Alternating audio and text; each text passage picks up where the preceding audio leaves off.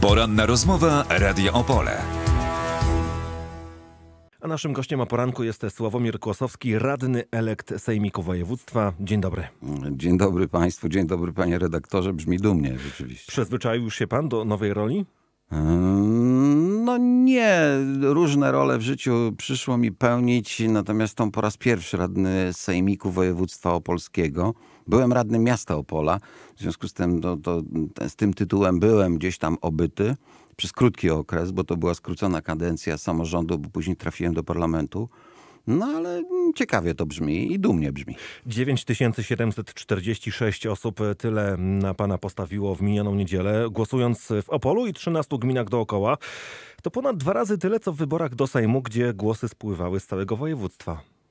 No tak, i tutaj pan redaktor pozwoli, że podziękuję tym wszystkim, którzy po pierwsze startowali na liście do Sejmiku, zwłaszcza w tym najtrudniejszym chyba okręgu Opole Miasto i Opole e, Powiat Ziemski. No, nie bez kozery powiem, że to najtrudniejszy okręg, bo jeżeli chodzi o Radę Miasta, to myśmy tutaj stracili swój posad w postaci pięciu radnych, mamy tylko czterech. Powiat Ziemski Opolski to też no, nie jest łatwy dla nas elektoratowo e, powiat. 13 gmin tego powiatu ziemskiego plus miasto Opole było co robić. Dlatego szczególnie cieszy mnie ten wynik, no bo blisko 10 tysięcy głosów z tych dwóch miejsc, czyli miasta Opola, bardzo trudnego terenu i powiatu ziemskiego. To jest dodatkowa satysfakcja. Jak pan redaktor się odwołał do wyborów parlamentarnych, gdzie startowałem z szóstego miejsca, to tak sobie podliczyłem. Gdyby tak po dwa powiaty było po 10 tysięcy głosów, no to tych głosów miałbym 60 tysięcy.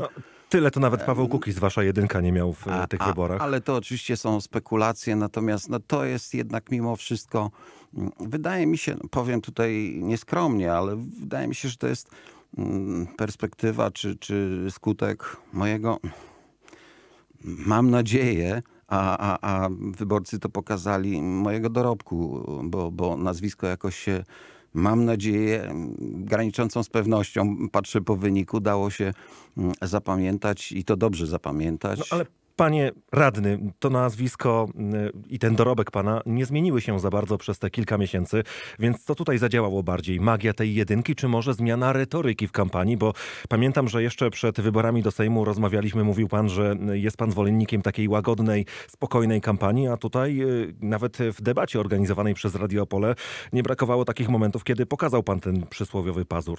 Debaty zawsze niosą w sobie jakieś emocje. No co by to była za debata i co to była za praca dziennikarska, gdyby to wszystko było tak rozmemłane i właściwie minęło bez, bez echa. W związku z tym nie powiem, że robiłem to na oczekiwanie dziennikarzy, no bo były takie momenty, w, którym, w których rzeczywiście no, mm, trzeba było wyakcentować, o tak powiem dyplomatycznie, wyakcentować pewne rzeczy, pewne poglądy. Mm, natomiast, natomiast y, no, no tak jest rzeczywiście, że w tej chwili w ogóle kampanie wyborcze mm, to są kampanie charakteryzujące się no, ogromną skalą emocji. Mm, nie, nie, nie, nierzadko wzbudzanych z premedytacją przez polityków. Ja w kampanii parlamentarnej starałem się rzeczywiście w taki sposób stonowany, koncyliacyjny prowadzić tą, merytoryczną, tak powiem, e, prowadzić tą kampanię. E, w tej kampanii też tak było. No, te wszystkie spotkania, które odbywałem, naprawdę nie było ich mało. E, one charakteryzowały się dużą dozą merytoryczności, takim, e, takiego spojrzenia na ludzkie problemy, zwłaszcza te problemy ludzi w tych 13 gminach żyjących, bo tam nieraz no, sytuacja jest bardzo, bardzo trudna i będę chciał w Sejmiku Wojewódzkim pomóc y, tym mieszkańcom tych gmin, gdzie, gdzie rzeczywiście powinno żyć się zdecydowanie lepiej. Zdecydowanie Do tego sobie wygodniej. na pewno jeszcze przejdziemy. Teraz y, czas na cytat. Jesteśmy pełni nadziei graniczącej z pewnością, że jeśli chodzi o koalicjanta, będzie potrzebna niewielka liczba głosów do tego, żeby koalicjant się nas zasilił. To słowa, które padły na dwa dni przed wyborami na temat zdolności PiSu do rządzenia w Sejmiku. Pamięta pan, kto je wypowiedział? Ja. No właśnie, macie 10 radnych w 30-osobowym sejmiku. Do większości brakuje wam więc sześciu szabel. To rzeczywiście mało? Mm, panie redaktorze, cóż byłby ze mnie za polityk, gdybym pesymizmem pałał na trzy dni przed wyborami, jak pan słusznie, czy na dwa dni przed wyborami. W związku z tym nie powiem, że to był urzędowy optymizm, ale jednak mimo wszystko optymizm, potraktujmy go jako optymizm mający na celu e, wlać otuchę w serca elektoratu Prawa i Sprawiedliwości. No i tak to się stało też. Nie, nie przypisuję sobie mm, osobiście te, tego dobrego, dobrego wyniku. Jeszcze raz podkreślę dobrego wyniku, bo mm, te wszystkie hiobowe wieści, które były przed wyborami, no i gdzieś tam jakieś sondażownie, które nas tutaj klasyfikowało, mówiło o polszczyźnie, no były, mówiąc, mówiąc umiarkowanie kiepskie, prawda? Natomiast skończyło się tym, że mamy właściwie powtórzenie tego wyniku na Opolszczyźnie, e, jeżeli chodzi o ilość mm, mandatów w Sejmiku, czyli 10 e, radnych sejmikowych będziemy mieli.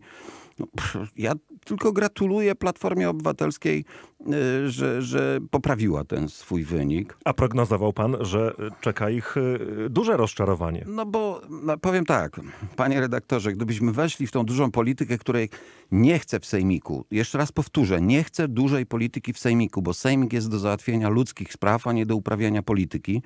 I tak będę się zachowywał. Tu może, mogę złożyć tą deklarację.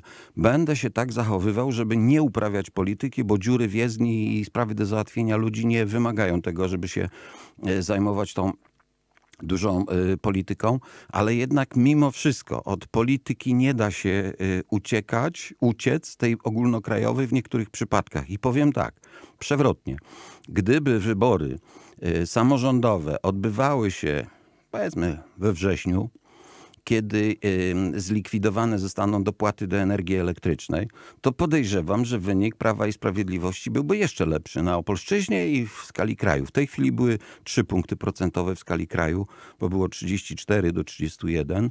Na Opolszczyźnie było gorzej, ale podejrzewam, że ludzie zaczynają powoli odczuwać na swoją niekorzyść te, te zmiany, które nastąpiły po 13 y, grudnia i myślę, że to będzie postępowało.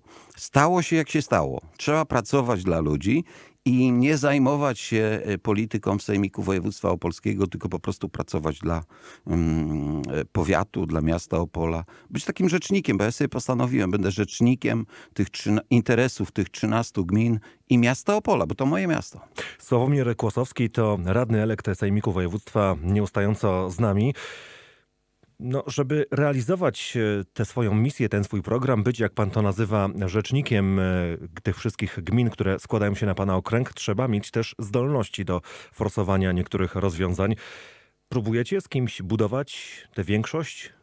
O panie redaktorze, ja staram się być realistą mm, i, i tu już mm, tu już e, tego, tej trzeźwej głowy jak najbardziej trzeba.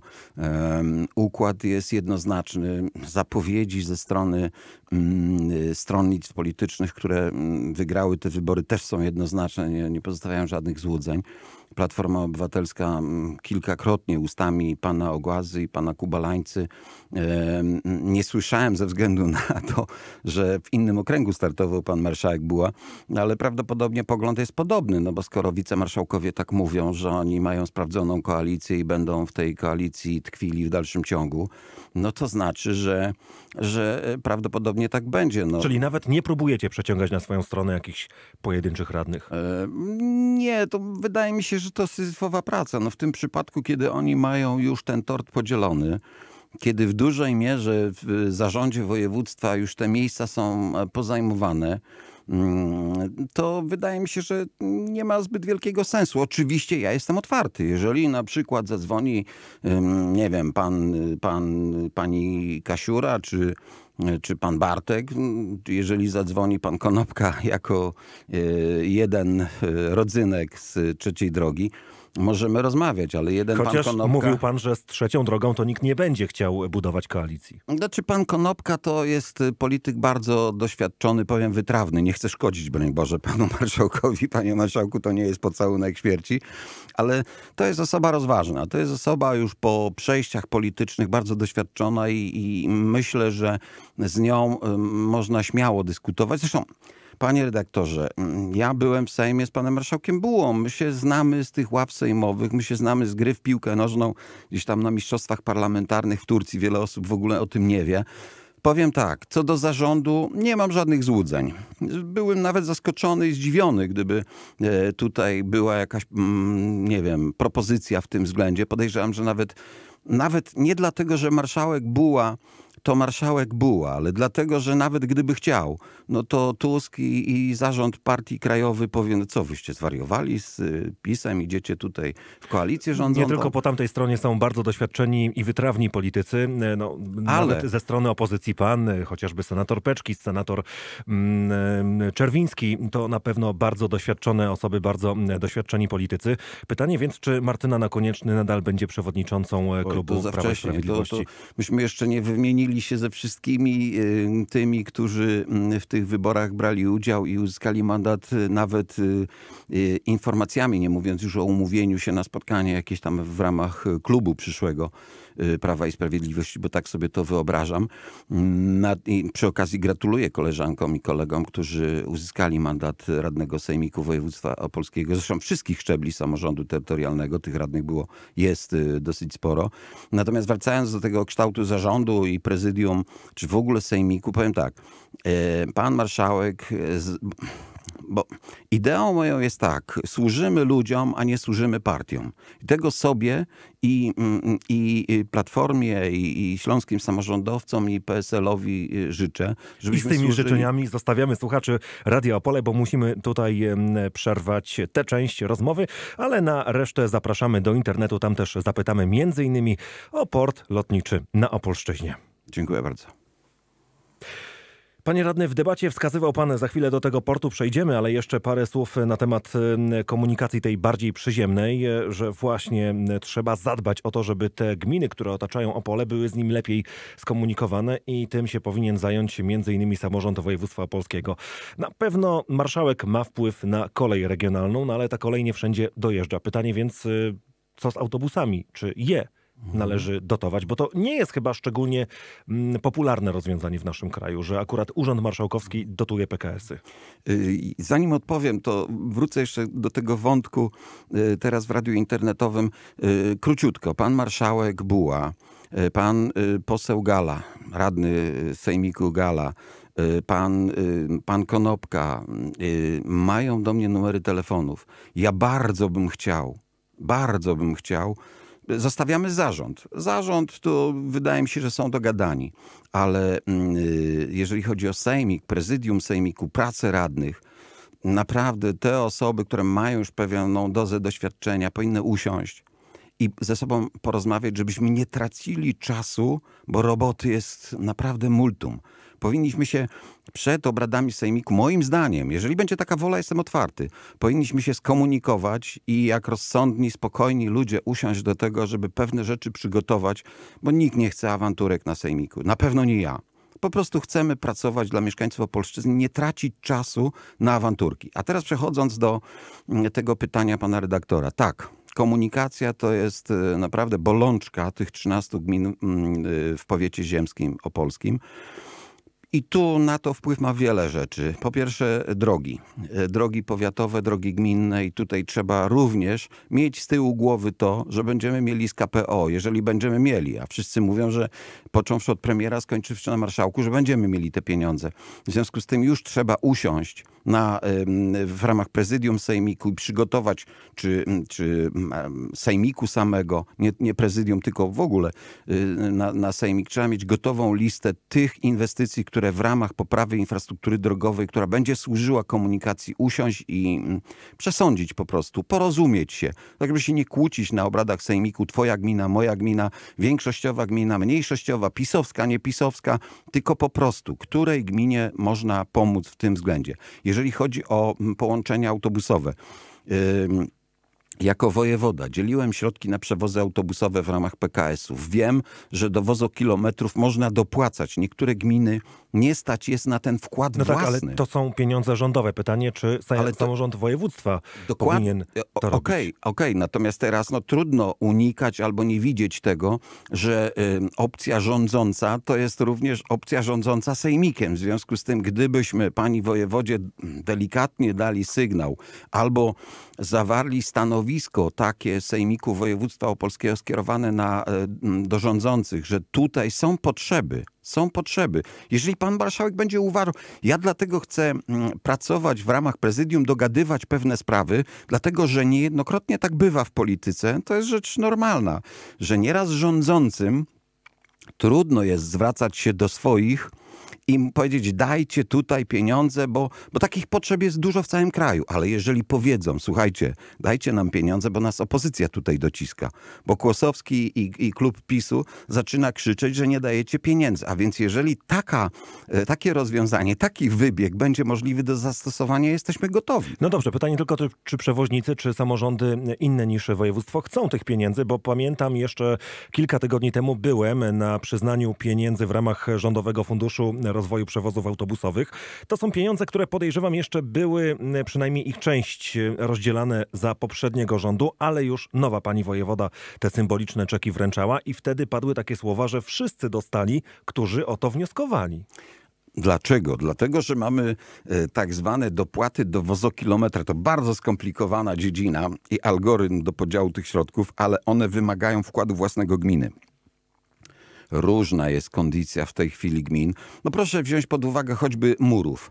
Pozdrawiam przy okazji pana wójta, ale oni mają w tej chwili na głowie rozbudowę e, Centrum Usług Publicznych, bo im się spalił urząd e, gminy. W związku z tym no, m- ma dylemat. Albo będzie dopłacał do wozokilometra z własnego budżetu, co prawda niewielką część, ale jednak mimo wszystko, albo będzie kończył e, Centrum Usług Publicznych w Murowie. W związku z tym jeżeli byłaby taka możliwość, żeby niektóre gminy, w których widzimy gołym okiem, że jest pewna zadyszka finansowa, to rozważałbym taką możliwość, ażeby z tych dodatkowo pozyskanych środków nie wpłacić czy nie umożliwić im finansowanie w 100% tych przejazdów autobusowych.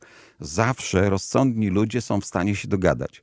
Ja mm, taką dewizę wyznaję i mam nadzieję, że moi partnerzy, czy to koalicyjni, czy opozycyjni, po, będą podobną dewizę wyznawali w Sejmiku Województwa Opolskiego, bo zostaliśmy wybrani przez ludzi i zostaliśmy wybrani dlatego, żeby załatwiać ich sprawy. No to panie radny, jeszcze kończąc ten wątek, jedno pytanie. Dlaczego za waszych rządów nie wprowadzono stuprocentowych dopłat?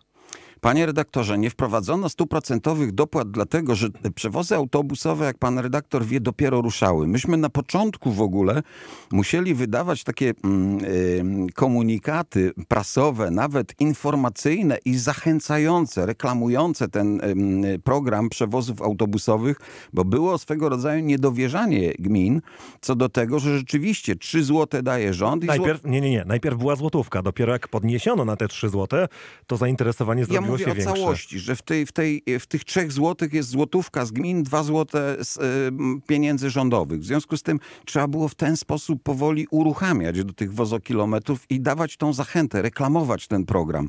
Ym, Ja o tym w, dawałem mm, informacje, nawet z tego co pamiętam, w naszym lokalnym dzienniku, po to, ażeby zachęcić gminy. Dlaczego? Dlatego, że ludzie, którzy zgłaszali się do mnie wtedy jako do wojewody, mówili, panie wojewoda, dlaczego tamta gmina, gmina X, nie chcę wymieniać, ma, pieniądze i może dowozić, a u nas y, pan wójt y, nie chce y, organizacji tego dowozu. Na czym to polega? I ja im to tłumaczyłem, jak jest z tymi wozokilometrami i dopiero w ten czas ci ludzie, mówię, idźcie do swoich radnych.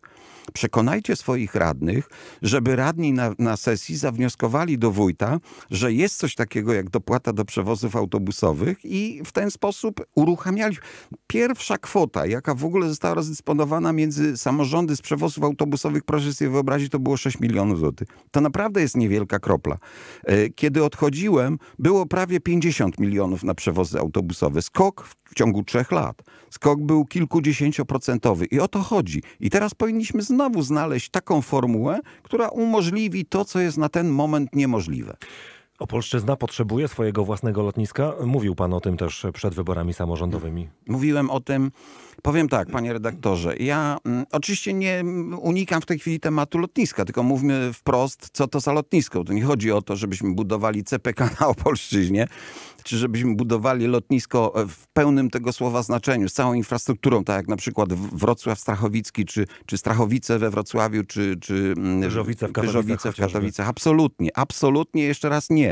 Mówię o lotnisku zapasowym. Tylko pytanie, po co dla Wrocławia lotnisko zapasowe w Kamieniu Śląskim? Każde lotnisko... e, Każde Skoro lotnisko... do Katowic jest y, kilkanaście minut lotu? Każde lotnisko podstawowe musi mieć lotnisko zapasowe No i nie może to, być, nie może to być lotnisko główne. Właśnie tutaj cały szkopuł leży w tym, że tak jak we Frankfurcie, nie może to być lotnisko, nie wiem, w mieście zlokalizowanym y, o, do 100 kilometrów, ale mającym podstawowe lotnisko, tylko to musi być lotnisko w, w, pełnej, w pełnym tego słowa znaczeniu zapasowe, które nie służy podsta jako podstawa do przewożenia, nie wiem, ludzi, towarów, bo może to być też cargo, tylko jest zapasowym lotniskiem. Jesteśmy w takiej sytuacji, że to jest komfort. Y, I, i moglibyśmy to zrobić. Y, Mało tego. tylko, jakie są szanse na to, że takie lotnisko będzie się w stanie utrzymać?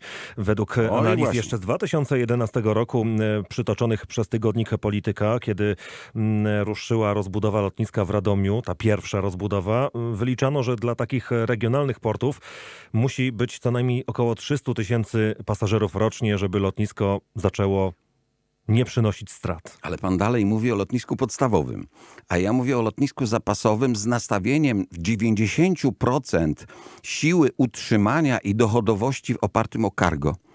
W tej chwili i Wrocław i Katowice zapychają się, jeżeli chodzi o cargo. Po prostu nie dają rady, bo nie ma gdzie rozbudowywać y, wrocławskich Strachowic ani Pyżowic o właśnie mocny element cargo. I oprócz tego zapasowego, gdzie mm, lądowałyby, nie wiem, tanie linie lotnicze, samoloty turbośmigłowe, w dalszym ciągu wielu Opolan pracuje w Niemczech, w Ale Holandii. niewiele takich samolotów już dzisiaj lata. No ale dlaczego nie lata? Największy przewoźnik y, świadczący usługi y, w zakresie tanich linii w Europie Ryanair, same Boeingi 737. Ale, bo pan mówi tutaj o tych liniach dłuższych, wielokilometrowych, wieluset kilometrowych. Ja mówię o tych liniach krótkich, czyli do 500 kilometrów, do 1000 kilometrów. To już są, to są samoloty turbośmigłowe, którym bardzo często lata choćby, choćby Lufthansa na lotnisko, to jest między Wrocławiem albo Monachium, między Wrocławiem a Frankfurtem. Latają albo małe odrzutowe, te Embraery, albo turbośmigłowe, y, które są tanie w eksploatacji, tak sobie powiedzmy. I teraz, zamiast tłuć się tymi buci, busikami po autostradach niemieckich, od czasu do czasu zdarza się tam wypadek, a wielu Polaków jeszcze pracuje w, w Niemczech i wracają tutaj raz na dwa czy trzy miesiące i widzą swoje dzieci i swoje żony. Dlaczego nie zrobić tanich linii lotniczych samolotami właśnie turbośmigłowymi, żeby oni mogli w dwie godziny dolecieć do pracy tam w Niemczech i być tu raz na dwa tygodnie, a raz na, na dwa miesiące. Ale to jest tylko jeden z elementów. Drugi element to jest typowe lotnisko zapasowe. Na wszelki wypadek, kiedy zdarzyłyby się jakieś, nie wiem, komplikacje pogodowe nad Wrocławiem, nad Katowicami, jest możliwość wylądowania w y, Kamieniu Śląskim. Ale trzecie i podstawowe i dające źródło utrzymania to jest lotnisko cargo. Tam mamy infrastrukturę odpowiednią, mamy autostradę A4. Mamy linię kolejową w Strzelcach Opolskich. W związku z tym, no, wydaje mi się, że to komfortowe położenie w tej chwili. Wie pan, jak w tej chwili mm, y, szuka się miejsca na potencjalne inwestycje? Biznesmen, który szuka miejsca na lokalizację swojego biznesu, nie patrzy już po autostradach, nie patrzy po liniach kolejowych, tylko patrzy po lotniskach.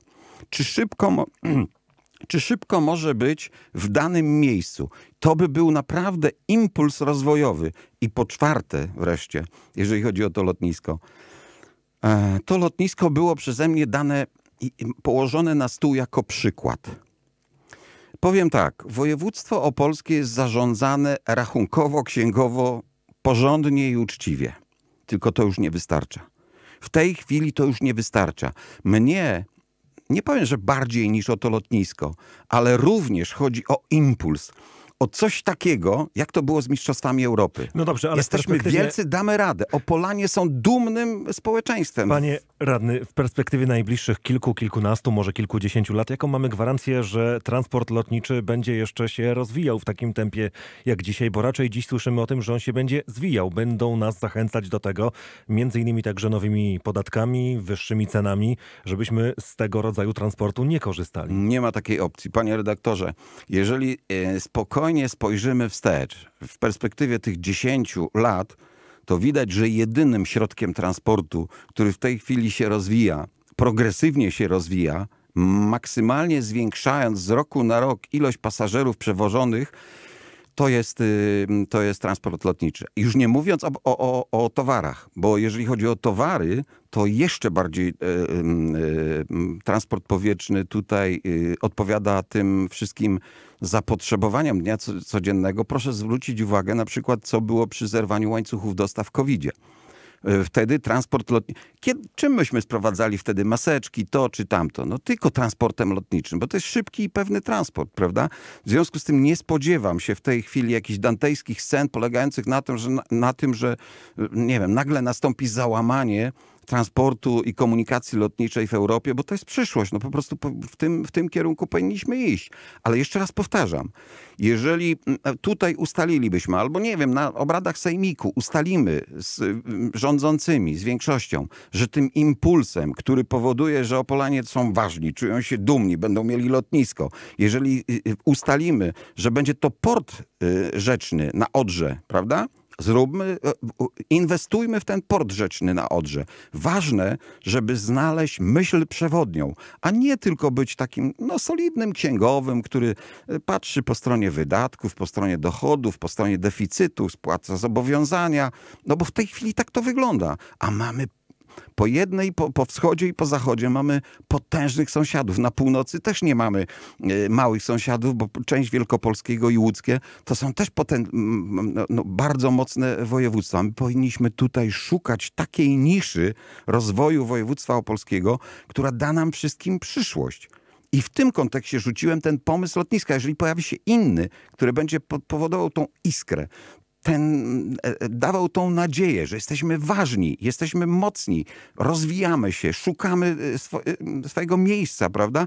To będę się godził na każdy inny pomysł. I o tych pomysłach na pewno będziemy jeszcze rozmawiać niejednokrotnie w trakcie rozpoczynającej się wkrótce kolejnej kadencji samorządu. O tym dziś, co w najbliższym czasie planuje, mm, co robił w czasie kampanii, także powiedział nam radny elekt Sejmiku Województwa Sławomir Kłosowski. Dziękujemy bardzo. Dziękuję Państwu za głosy oddane na mnie. Pozdrawiam, do widzenia. Cała rozmowa na radio.opole.pl